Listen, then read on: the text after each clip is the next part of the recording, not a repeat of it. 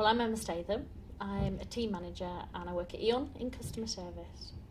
I think actually um, the person that inspired me probably was my dad. He was very much, you know what, you can do. If you want to do that role, you do it. You know, you really go into whatever, you explore whatever you want. And if you want to do it, you go out and do it. I was working part time at Tesco whilst I did my A levels. I sort of looked at my life and thought, well, what, where do I want to be if I'm going to be working? And I set myself a goal to, I wanted to become a manager within Tesco by the time I was 21 and I actually achieved that. So it was it was just before my 21st birthday that um, I became had my first management position within Tesco.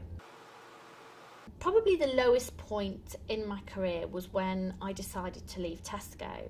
I, I kind of struggled with that decision because I did enjoy huge aspects of my job and I loved that hustle and bustle of a store and the not knowing what was going to happen next. So it was it was very hard for me to make that decision to leave a company that I'd worked for for 9 years. And now I'm really pleased I did make that decision because actually I think I'm, you know, I'm a better person for it. I love the role that I do here now. I'm really committed to E.ON. But I think that was a hard, a really tough decision, and I struggled with that one.